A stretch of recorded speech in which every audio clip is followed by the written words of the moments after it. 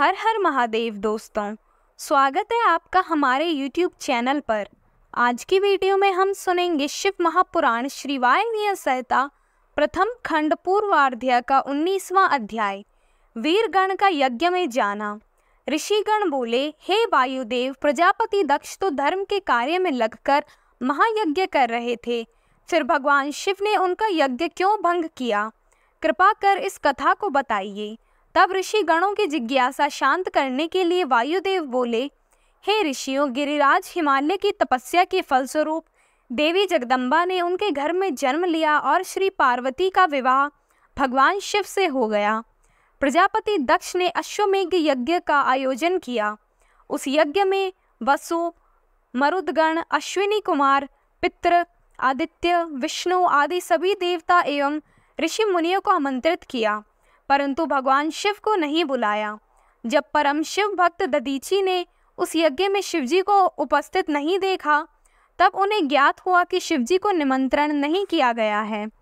वे क्रोधित होकर बोले, इस यज्ञ में जगत के स्वामी भगवान शिव को क्यों आमंत्रित नहीं किया गया? वह पूजनीय के भी पूजनीय है। फिर तुम उनका पूजन क्यों नहीं कर रहे हो? ददीची ऋषि के इन वचनों को सुनकर दक्ष बोले, हे ब्रह्म ऋषि यहाँ ग्यारह रुद्र तो उपस्थित हैं और अन्य रुद्रों को हम नहीं जानते। इस यज्ञ के अधिष्ठाता श्री हरि विष्णु हैं। तब क्रोधित ददीची यज्ञ को छोड़कर चले गए। उधर भगवान शिव ने यह जानकर कि उनकी प्राण वल्लभा का यज्ञ में अपमान हो रहा है, वीरभद्र नामक गण को उत्पन्न किया। वीरभद्र हाथ जोड़कर शिवजी को प्रणाम करके उनकी स्तुति करते हुए बोला, हे देवादिदेव, मेरे लिए क्या आज्ञा है? भगवान शिव ने उसे आदेश देते हुए कहा, हे वीरभद्र, तुम अपने योद्धाओं के साथ प्रजापति दक्ष के यज्ञ में जाओ और यज्ञ का विध्वंस कर दो, फिर दक्ष को भी नष्ट कर देना।